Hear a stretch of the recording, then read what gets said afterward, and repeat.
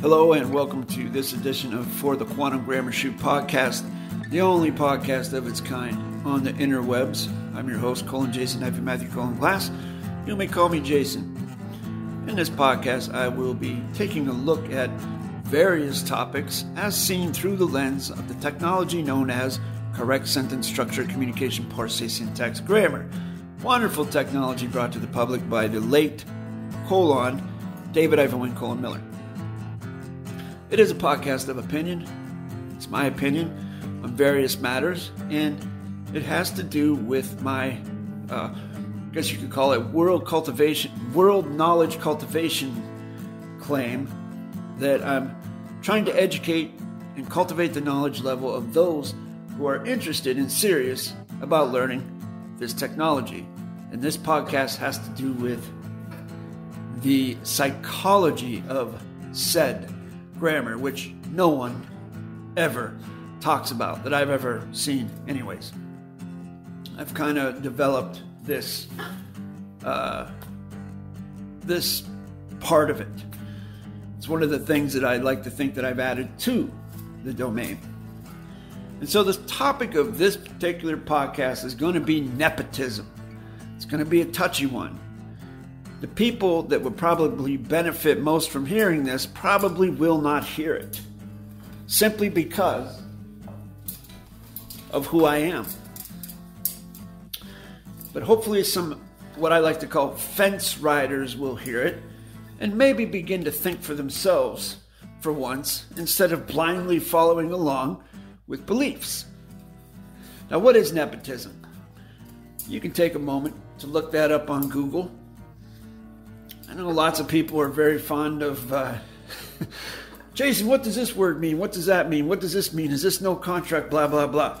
When they can very easily do the work themselves and figure it out instead of me just spoon feeding it to them. So if you want to, if you don't know what it means, look it up on Google. You'll find it very quickly. I have witnessed and also been a part of nepotism in the past by virtue of who I was or who I knew. I've seen it work in beneficial ways and I've seen it work in detrimental ways.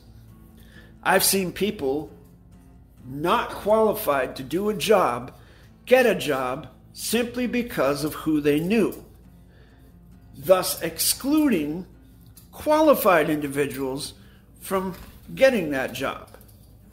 That's nepotism. I was able to get jobs at places that I probably wouldn't have gotten a job at, not because I wasn't qualified, but because I didn't know anyone there, simply because I did know someone there. It's across the board. This is the way it works. I've gotten people jobs because I knew them, and they wouldn't have gotten that job if they wouldn't have known me. This is nepotism. Now, the way it, I just explained to you the way it works in a detrimental way, when you get someone who gets a job position who is not qualified to do the job. There's a title that they're assigned, and they're not qualified to perform on that title, but they got it through nepotism. Or to put it another way, they were grandfathered in simply because their dad worked there. Their brother worked there, their sister, their mother, their cousin, their grandfather, grandmother. Isn't that right, Birdie? Birdie agrees with me. That's nepotism. Now, how does this relate to correct sentence structure, communication, parsing, syntax, grammar? Well, I'm certainly glad that you asked that question, and I'm going to answer it right the freak now. So, quantum grammar, i.e., correct sentence structure, communication, parsing, syntax grammar, was developed and published by colon David Eiffelwin colon Miller. He's the one that brought this stuff to the public. All right? He was out there doing seminars and so on and so forth. He had a protege, a student, an apprentice. And that individual's name was Russell J. Gould. Now, they did a lot of things together, but it was very obvious and very clear to anyone who watches any of those videos especially ones with David and Russell together, who the boss is, who the teacher is, who the master is, and who the apprentice is. It's very easy to see who that is. It's very easy to make that distinction between the two. When David's talking, Russell doesn't talk. When Russell's talking and David interrupts, Russell shuts up. That's simple. And David did interrupt him a lot. So that's uh, that's that's the scenario we have. We have plus David was a much older man. Russell was very young when they got together. And Russell actually came to live with David. David allowed Russell to come and live in his house. So my guess is it was, you know, from what I know, from speaking to other people that knew them both, and from speaking to David, and from watching videos, I can kind of guess that there was some kind of weird dynamics going on in that relationship. Sort of like a mix of father son, uh, sort of like a marriage, sort of like brothers, all mixed together, very volatile at times.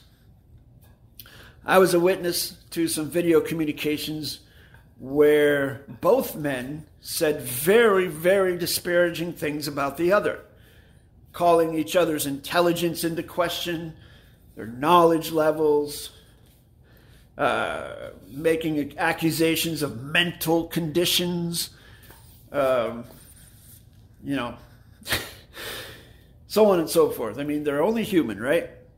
And they had a volatile relationship. Point being, when David passed away in 2018, there was only one person left in the construct that he created. David once said to me, one is opinion, two is certification. Russell and I certify one another. If I write something, if I write a document, I'll send it to Russell. He'll proofread it and certify it. If he writes something, I'll proofread it and certify it. Two is certification. One is opinion. If you take one of us away, if one of us quits or dies, then two becomes one, and now it's an opinion. So that's exactly what happened. David died, and Russell became the singular shareholder of the construct that they created. I'm not going to call it a correct sentence structure, communication, parsing, syntax, grammar construct because, quite frankly, I can't find any proof of correct grammar in any of those documents. And I've proven that. So that's a non issue. But the point, the reason I'm saying this is because Russell basically, through a monopoly, uh, a monopolizing situation, grandfathered himself in to be the sole owner of this construct that he's talking about. And by the construct he's talking about, it was David Wynn Miller's construct. Russell ingratiated himself into that position. I have shown again and again that his grammar is not correct. I've shown the mistakes. You can just look at the positionals, positionals that he uses alone that void the mathematical interface, not to mention the hundreds of other errors. I've made this quite clear in other locations. You can check those videos out on my channel, especially in the Coral Blade Grotto broadcast section. So, what happened was this basically nepotism. Russell grandfathered himself in to be in charge. No one authorized him to be in charge, he authorized himself. But guess what? As I stated before, the way nepotism works a lot of times a person will get a position that they're not qualified for. They don't have the knowledge level to perform on the job. You have to have proof, don't you? You have to prove that you can perform on the job title that you claim. You can't just say, I've done this, that, and the third. And so just take my word for it. I'm this guy. No. You can tell stories all day long. Stories do not count as certification, authorization, or anything else. Knowledge does. Absent of certification, knowledge will do that, fill that void. What do I claim, ladies and gentlemen? I claim to be a grammar tutor. I claim to teach correct sentence structure, communication, parsing, syntax, grammar. What is the certification of that? I have 500 videos on my YouTube channel that I've created that teach the mechanics of correct sentence structure from multiple different angles. That's one certification. Five years worth of material. Name one other individual out there that has a, a YouTube channel that even comes close. Another certification. I have hundreds of students that I've taught. Some of them have done one workshop, some of them have done two, some of them have done 20. They are certification of what I do. Some of them comment on my YouTube channel. If you want, you can comment on their comment and ask them what they think of me. That's certification. You can reach out to Colon Ricardo, Colon Marseille. Ask him. These are all certifications. Or, and I mean, geez, Odin forbid you do this one. But you can perhaps reach down inside your intestinal fortitude and email me at jasonmatthewg17 at gmail.com and ask me those questions that you want to ask me if you require some sort of certification for what I do. Nothing beats that. We can do a face to face video consult, 10 to 15 minutes. I will gift you 10 to 15 minutes to ask me whatever you want. And I guarantee you, 9.9999 times out of 10, I will answer your question without hesitation. So, to get back to what I was saying, Russell basically grandfathered himself in. Sort of a, mono- a monopoly version of, of this. Now, also, I have been told by Russell's followers that I am not authorized to teach his grammar. Well, I couldn't agree more. I don't want to teach his grammar. His grammar is not correct. So whatever grammar that he's copyright copy claimed with his flag with the spire on top of it, at war with the people by his own admission, whatever that is, I don't want anything to do with that. He can have that. I'm not using that. What I'm using is correct grammar. I'm using correct grammar mechanics, correct positional sequencing. No particles of negation in the facts. The verb is in the correct place with a cause, concern, possessive, authority. That's the mechanic. Those are the mechanics I use. I don't use what he's using. So while I may not be authorized to use whatever he's using, I don't want to use it. I don't need his authorization.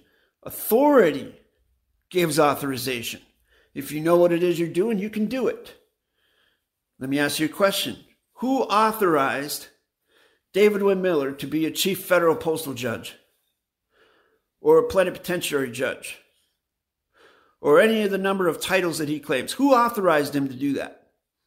Where did he get authorization to do that? Same thing with colon Russell J. colon Gould. Who authorized Russell to be Postmaster General, Commander in Chief? You know what I'm thinking? I don't think he ever claimed to be Commander in Chief until after David passed. Am I correct on that? I'm not sure. But I know he did claim Postmaster General. He claimed a military title when he was never in the military. But, anyways, who gave him authorization to do that? Who gave him authorization to be muster master? Did someone give him that? Are there some other people out there who are higher up on the echelon as a shareholder that authorizes what he does or doesn't do? Because if there is, I haven't seen any proof of it. As far as I know, it's just him. So who authorized him? Nobody. According to him, if you watch his videos, authority comes from knowledge. He and David authorized themselves to walk into those venues. They educated themselves, and at the time, whatever their knowledge level was, was sufficient to supposedly walk through those venues safely. I don't know if they did or they didn't. I don't have any proof of it. What I do have proof of is that they were in and out of court dozens of times around the year 2012, 2011. I can find evidence of that in the fiction on Google on the internet. If you Google their names, you will see these things. What I don't have proof of is whether they were successful or not, or what exactly happened. But I do know that they were doing things. So, as to what those things were, I don't know for sure. I saw that they were experimenting with techniques and things like that. You can see it too if you look it up. Anyways, the point I'm making is you. Why is it that you are different than him if he truly participates with rule one, rule equal in a geometric level playing field of contract? If he didn't need anyone's authorization to do what he does or did or claims to have done, then why do you? Why can't you participate with the same principles that he did? That you teach yourself, you use your knowledge level, and now you're the authority, not him, you. This is a rhetorical question, ladies and gentlemen. And if you even have to think about that for longer than a second, you might be an authoritarian follower. If uh, I, I'd highly recommend some help with that. Because authoritarianism is a horrible thing from my perspective. Some people like it. Some people like being told what to do. Some people like a nanny state. They like to have someone above them that they think is going to take care of them. but basically, when you look at Russell J. Gould, what is he doing? He wants to take whatever his system is, his system of grammar, whatever it is that he talks about, and he wants to implement that in place of the fiction system, using the same fiction principles. It's the same thing with Mark lowercase k Kishon Christopher. He wants to use the same fiction principles. He still wants to put people in jail. He still wants to use capital punishment, final solutions, and he wants to be the be all end all judge of who gets put in jail, who gets killed, so on and so forth. It's the same thing. It's a fiction system, but with a different coat of paint slapped on it. Nothing to do with correct sentence structure at all. Nothing. That's the same thing that Mark did, basically, too, I might add. He grandfathered himself in. And he didn't even have anything to do with that, except as a periphery uh, hanger on who ingratiated himself into David's life during the last days of his life and ingratiated himself into the family, which I don't even know what's going on with that anymore. I know that there were some pretty shady things going on in 2018. That's all I can say. But again, I digress. And I want to also, now that I've said this about rule one, rule equal, and all that, I want to add this in here. Maybe YouTube will catch it, maybe it won't. I want to talk about the Second Amendment real quick. Ladies and gentlemen, do you know why the Second Amendment, Second Amendment of the past tense United States uh, was ratified? Do you know why they made that? What the purpose of it was? The purpose of that amendment was so that, based upon the principle of we the people, it's rule one, rule equal. The people are on the same geometric level playing field as the government, theoretically. We the people are the government. The government is us because we elected them. This is all theoretical, by the way. This is in principle, not reality. But in principle, this is what happened. The people are the government. Therefore, the government shall not have anything that the people can't have. So the Second Amendment basically stated that if the government can have a bolt action rifle, then the citizen can have a bolt action rifle. If the government can have uh, an AR 15, then the people can have an AR 15. If the government can keep this much ammo, then the people can keep this much ammo. It's to keep it so that the government never feels like they are dominating the people or that they can just bully the people. It's to keep basically a healthy fear of the people. So as long as the government's doing the correct thing, they don't have to worry about the people. Well, we know that's pretty freaking far from what's going on right now. But that that was the original volition behind that amendment. very I think very quickly though that was nullified and uh, things changed and were modified very quickly which will happen because the whole system of the past tense United States was rotten from the core anyways because it was built on genocide the murder and subterfuge of taking land from people who were already there now other people may say well it doesn't matter because the the First Nations were already fighting and killing each other. Okay, that doesn't make it right for some totally like take for example this say we all exist right here we're all doing this that whatever we're doing and all of a sudden quote unquote aliens come down from space and they just start killing us and occupying our homes how would you feel about that would you be okay with that? Like, well, fair is fair. We did that to the Indians, so I guess they can do that to us. yeah, you better not whine about it either, Patriots. All right, that's enough of that. Thank you for listening. Hope you enjoyed it. Again, this is a podcast of opinion. Uh, I don't side on left or right. I don't participate with Hegelian dialectics. I just try to see things for what they are through the lens of correct sentence structure and try and bring a little bit of logic to the table rather than participating with assumption, presumption, and authoritarianism. I'm a big, big critic of authoritarianism. I know that it's necessary in constructs such as the military. If you don't have that in place, you're not going to be an effective military. But outside of that, it's not necessary. If you really want everyone to be equal, it's not necessary. If you want to learn this grammar, hit me up at the email address at the bottom of your screen.